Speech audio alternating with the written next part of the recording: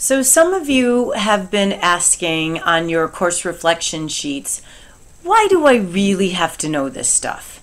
And so I've thought, you know, that's a valid question because I remember mm-hmm. learning stuff, especially in math class. And I said to myself, when am I ever really going to need to know this? And yeah, I actually did use the Pythagorean theorem when my dad had to build rafters in the barn, but other than that, I really didn't have to use the Pythagorean theorem ever. And so I get that you're probably wondering why you might have to know stuff. And here's the thing I've come up with a whole list of reasons why, and this is the stuff that you look at you know we're not talking about balancing a checkbook checkbook here. We're talking about stuff like that you've just recently had to do in earth science where you had to answer questions about the brightness of stars and you know whether aldebaran is brighter than pollux and wondering when are you ever going to need to know that? Valid question. So here's my list of reasons why you need to know that stuff. And I think what I consider to be the number one reason is going to surprise you. Are you ready? The content that you're learning, you probably really don't need to know again, at least in earth science. There's a really good chance that the actual stuff that you're learning about, that you're sitting there saying, when am I going to need to know it? You won't. That's not the point. It's not about the content. It's about making your brain stronger so that it can function better at higher level thinking. It's basically improving your brain, making it smarter. You remember how we talked in class about the only way that you can build muscle is by actually making them work harder, which is why when you make them work harder, they tend to tear and they actually get better when they when they regenerate after being torn. That's why we call guys who are really really um, muscular ripped because they've literally ripped their muscle fibers. Well, your brain works similarly in that the only way that you can strengthen it is to work it harder. If all you ever ever did was the easy stuff, your brain wouldn't get better at problem solving. And you can sit there and say, well, okay, but if I ever need to know the, if I don't ever need to know the Pythagorean theorem, then why do I need a stronger brain? Well, because life in general has problems. Everything that you do, as an adult especially, is going to be problem solving. And you might not necessarily be a problem, but you're going to have to use those higher level thinking skills in order to figure stuff out, like which job you should take, which major you should have in college, what play you should do in a game that you're in, and think fast and be able to analyze the situation. Um, how to manage your finances. Uh, relationships are huge problem solving opportunities all the time. Should you be in one? Should you not be in one? How do you how do you address this situation? How about your boss? What about at work? There's so much problem solving in life. And it doesn't matter whether those problems have to do with stars or anything else, if you can strengthen your brain cells by using them on the harder things, then it's going to just make you smarter and better able to do that. And yeah, so the chart that you were just recently using in science, where you had to you had to you had to determine that the boxes were not all the same for the temperature of the stars. That means it's not a graph. The fact that the side for luminosity was um, exponential then and then you also had to see that temperature was related to the color of the stars and how all of the stars were categorized based on similarities and differences and that's how we classify them. When you answer questions about those and you have to take that information and analyze it on a chart, it makes your brain work harder and makes you think. So, will you ever really need to know whether Aldebaran is brighter than Pollux? No. But the skills that you are learning when you're using that chart to answer those questions, you will need to know later on. And to me, that's the number one reason why you need to know this stuff. But just in case you think that's lame, I have more. Reason number two um, when you learn about anything, doesn't matter what the subject is, it makes you more knowledgeable and therefore a more informed citizen. Because Tax-paying citizens are the people who decide what happens in our country. And they do that literally by going into a voting bo- booth and choosing certain referendums, certain budget line items. They decide who's going to lead our country, and they don't want to they don't want to pick that arbitrarily. They want good reasons for picking those people and for voting that way. And the only way that you can that you can make a good decision is if you are informed about stuff. So, you know, I mean, you want people that are knowledgeable and have lots of information to make those decisions, and that includes you.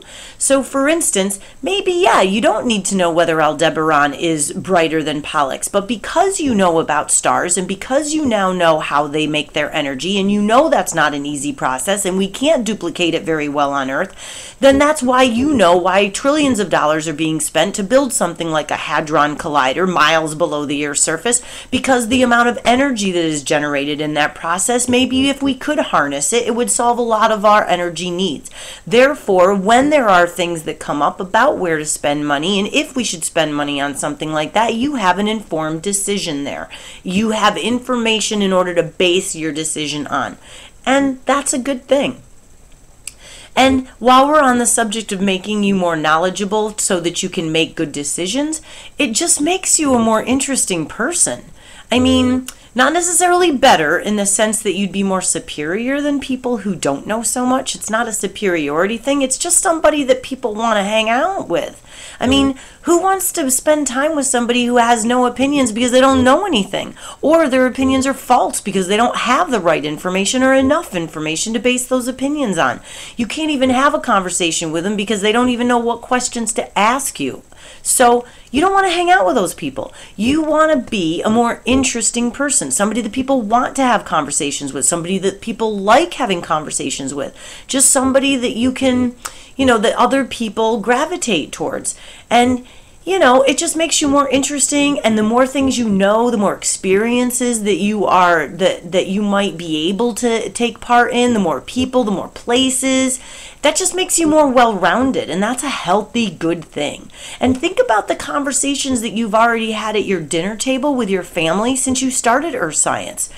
Aren't you already talking about all the really cool things with your family? Imagine if you were talking about those really cool things with strangers that you meet or on a date. Not that you should be dating when you're 14, but just imagine you have interesting things to talk about because you're learning new things about interesting topics, not just the things that you already know about. So that's reason number three. Reason number four is personal to me because you need to know about things in order to make decisions about, for instance, what you want to do with the rest of your life, like college and stuff. I didn't have earth science in high school. It wasn't an option. My high school didn't offer it. So when I went to college, I planned on being a biology teacher. And then I had to fill my very first semester of my first semester schedule with something, and an earth science entry level course was being offered. I said, Oh, that sounds interesting. I've never learned about that stuff before. I took it, was blown away by the content, absolutely loved it, found out that there actually was a New York State Regents program in this subject and that I could get certified in it. And within a week, I was over at the registrar's office and I changed my major to earth science education. And I'm and and then as if that wasn't enough, my senior year, I'm actually getting ready to graduate. I had to fill another schedule with some humanities classes. I took a class in anthropology, something I'd never heard of, had no idea what it was, absolutely fell in love with it, and a mm-hmm. month after classes started, went back to the registrar's office and picked up a dual major so that I could get a degree in both earth science education and anthropology.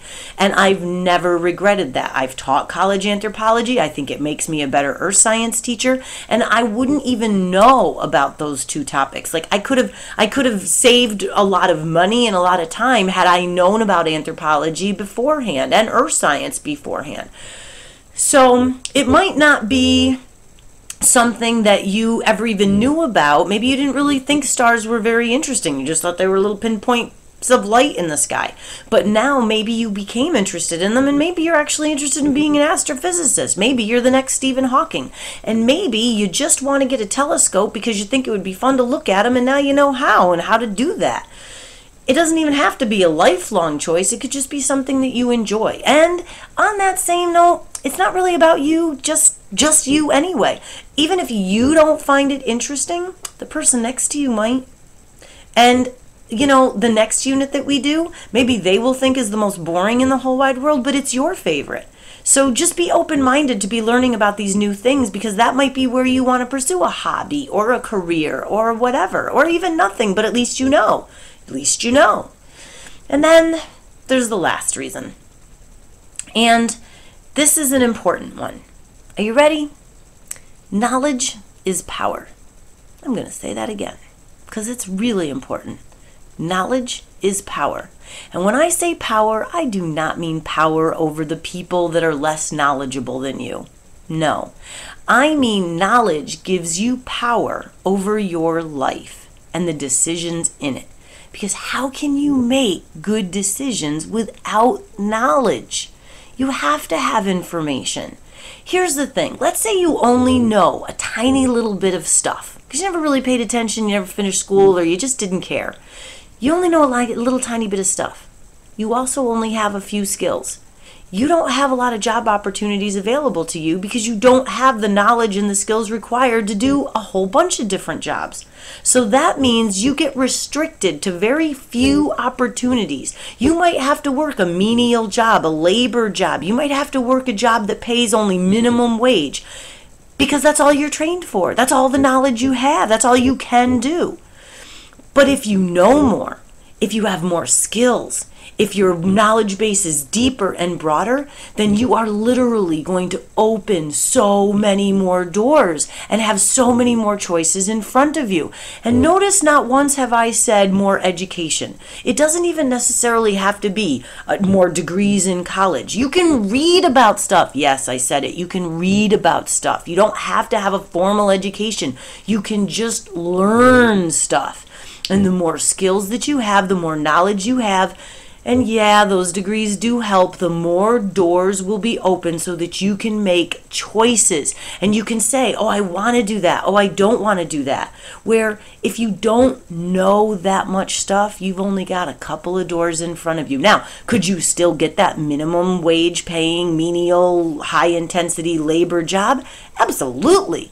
But the difference is it's because you want to, not because it's the only mm. one that's open to you. That's the thing.